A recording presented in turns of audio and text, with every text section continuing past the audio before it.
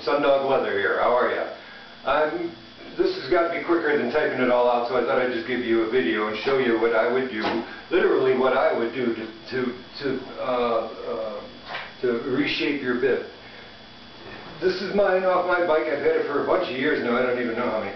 Anyway, all you'll really need to do is just like reshape it. Just bend it past the shape that it wants, that it's supposed to be, you know, bend it a little bit back firmly, but yet gently. I mean, here's mine, and I can do this with it. I don't recommend doing it, but it can be done. And that's what I'm saying, is just take the ends, which if you, I'm assuming one of your finer little corners is coming up. You take it and bend it down gently, hold it there a little bit, and it'll, it'll hold like that.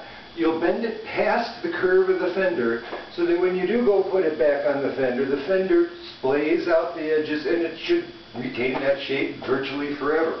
If it does get wet in the rain, and God knows it happens, or the snow and the or the sleet, um, leave it on the bike to dry, because or or take it off the, if you're gonna if you feel like you need to dry it on something so that it, it retains that shape. Don't let it flat like that, because eventually over time it will it will take out the mold that I put in. I molded directly on the fender like this.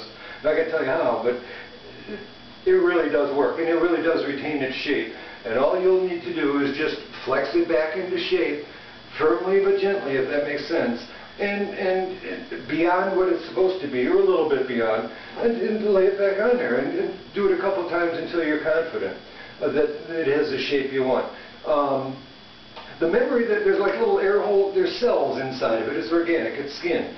So when I mold it and then when it dries, it retains that shape. So it wants to come back to this shape. It's not going to flare up the wrong way because it's, it's I don't want to say trained, but it's molded to go the other way.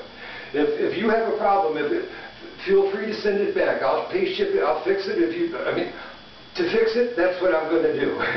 um, Keep doing it until it, it, it, stays that way. And that's what I recommend uh, you do.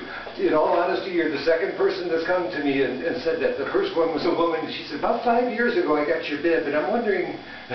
so I have, I have total faith and confidence in the process and, and, and the product that you have or that anybody gets. Um, please try that. I'm, I'm 100% confident that that's, that will uh, uh, return it to the shape that uh, got all the use and ahs during your bike rally over the weekend. So I hope this is uh, sufficient for you. Um, obviously, I couldn't have put this many typewritten words on a, on a, on a letter. Um, but anyway, thanks for your efforts and thanks for everything. And uh, let me know if let me know let me know how this works out for you. Thank you, Robert. Bye.